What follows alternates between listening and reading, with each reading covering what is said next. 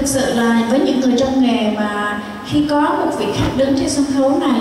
hát hay đã đành mà còn hát đúng nữa với cái nhịp điệu Boston thì và đối với những người nghiệp dư cô xin lỗi vì cô chưa biết là Trang có phải là ca sĩ hay không. Nhưng nếu là một người, nếu là một người bình thường và một ca sĩ nghiệp dư thì như thế rất là xuất sắc. Xin cả nhà hãy cho Trang một tràng